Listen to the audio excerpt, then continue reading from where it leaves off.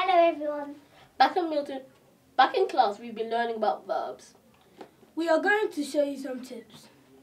Hey, you just used some, Stephanie. What? We're gonna show you a little dance about verbs.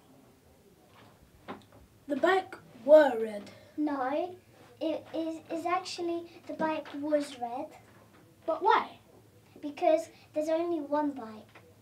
The birds was singing. No, the birds were singing Why? because were is more than one thing and was is one thing. Ah. Most of the children was at the circus. No, most of the children were at the circus Why? because were is more than one and was is one or under. Tutankhamun were an Egyptian pharaoh. No, no, no, no. Tutankhamun was an Egyptian pharaoh. But why though? Because was is singular. Oh, I get it. I were upset because my football team lost. No, it is. I was upset because my football team lost. And what reason is that for? Because was is singular and were is not singular. Oh, I see. The leaves on the garden was falling on the ground. No, no, no, no, no. The leaves on the garden were falling on the ground. And what reason is that for?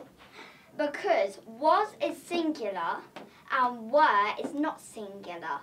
Oh, now I get it. Of course. The children in Darwin class was happy because they were going on a trip. No, no, no, no, wait, wait, wait, what's going on? The children were happy because they were going on the trip. Oh. Because was is singular and were is not singular. Oh, now I get it. Okay, okay.